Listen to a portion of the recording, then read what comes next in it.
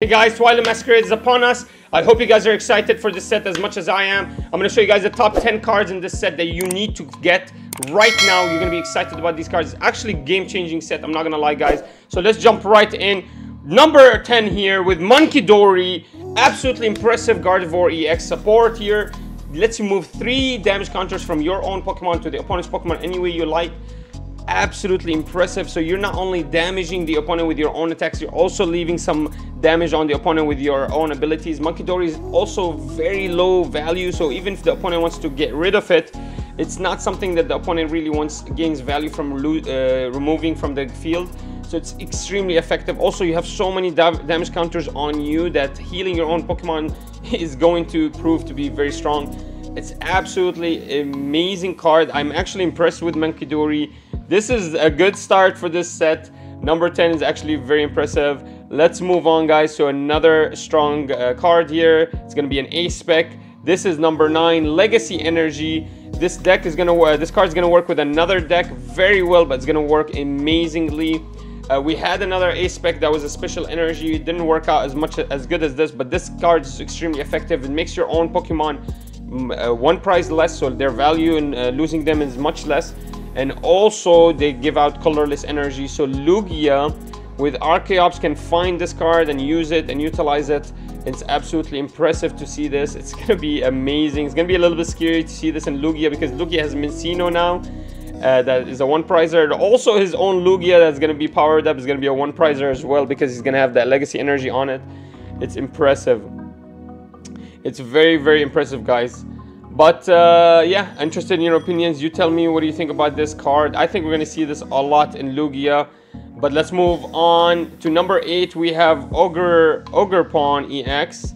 Uh, Pawn EX is a very impressive card. It's very effective against the Charizard, guys. Uh, it's hitting for weakness. It's It also gives its own uh, acceleration and draw power to itself. So it accelerates one energy to itself and then it also draws it. Which is very impressive. Draws uh, cards from it. Uh, it, its attack is going to take some time to build up, but like I said, it's very effective against the Charizard. And this is probably the best Ogerpon or, or Mask group that we're going to see here.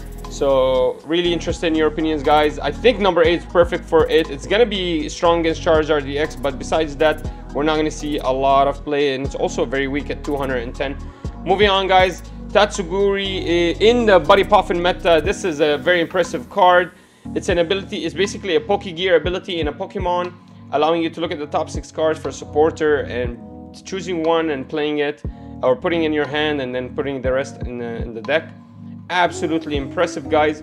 Any deck that's going to be using Buddy Poffin is going to be able to utilize Tatsugiri to a really big level. Maybe we're going to see a lot more of this in Giratina decks as well, because they do need those supporters very, very heavily. But uh, honestly, Tatsugiri just changed the game. Uh, now, what's happening is you have option, you have ways to kill Tatsugiri. You have ways to kill these Buddy Poffin uh, Pokemon with Munkidori, like we showed you earlier. A couple of turns of Munkidori. I'll also show you another guard, Dragapult, that can kill that Tatsugiri.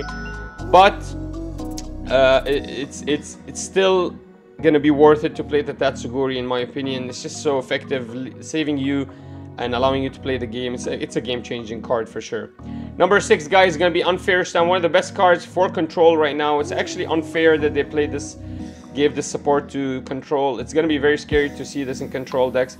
You just ditch your whole hand and draw two while your opponent draws five. The problem with this is if you don't have anything set up on the on the board uh, to to draw again like barrels, you are basically not going to be able to play the game for the next two to three turns.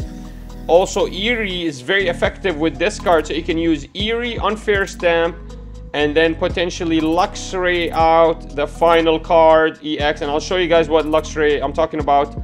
But this is absolutely impressive. It's going to be a very, very strong uh, card, and it's going to be very effective in control. We're going to see this all the time, Unfair Stamp.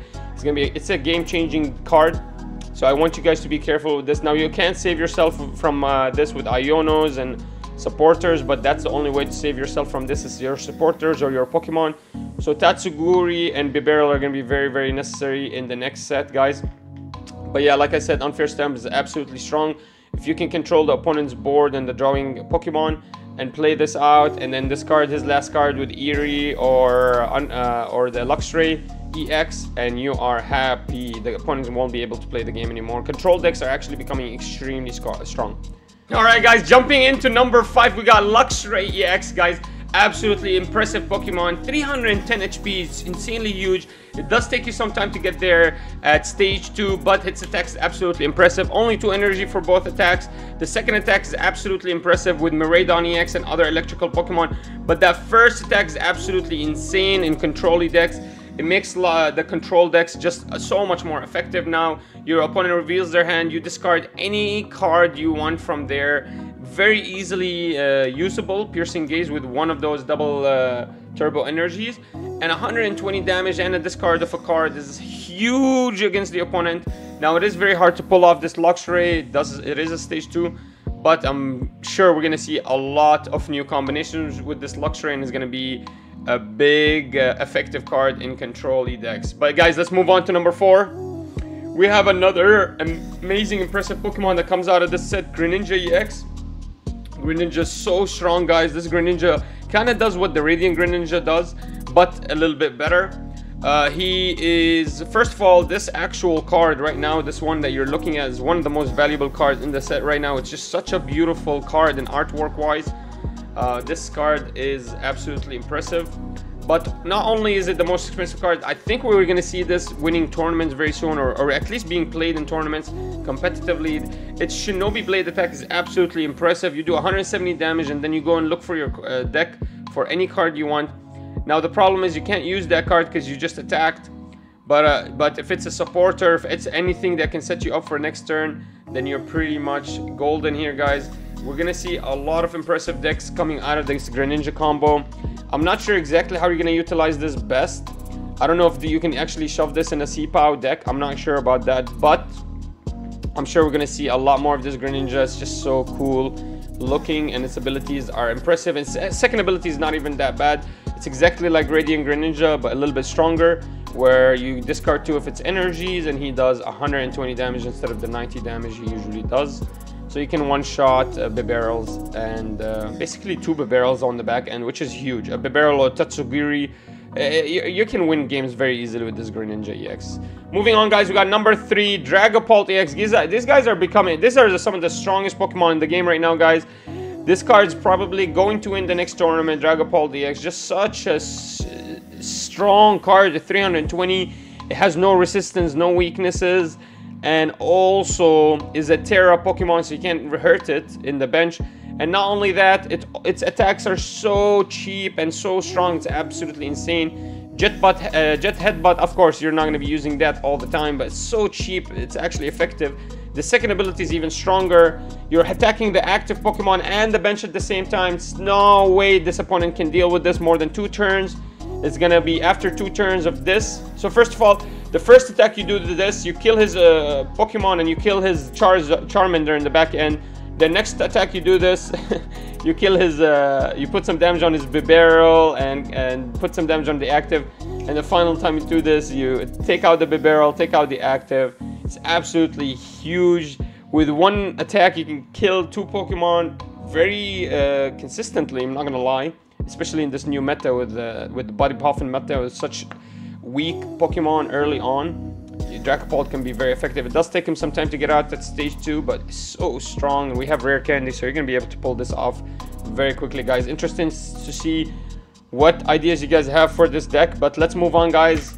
We have a couple more cards. got Carmine is probably one of the best cards in the game right now. It's one of the only supporters that can play turn 1. It's very effective with Lugia, allowing you to discard your whole hand, then draw 5. Another thing you could do with this is just keep her in your deck because you just play stuff early, then you discard whatever you don't need, and then draw to keep playing that same turn. It's absolutely impressive. I, it's, it's crazy that you can use it turn 1 and it's it's number it should be number one but only because it's lugia it's mostly centered around lugia that's why I don't, I don't want to put this in number one i want to put a card that can be used in any deck in number one but still very strong supporter one of the best supporters in the game right now and of course it's a, fe fem girl so you guys uh, another one of your wifey girls for you guys finally guys i'm excited for this and i hope you all are Absolutely impressive turnout for the set.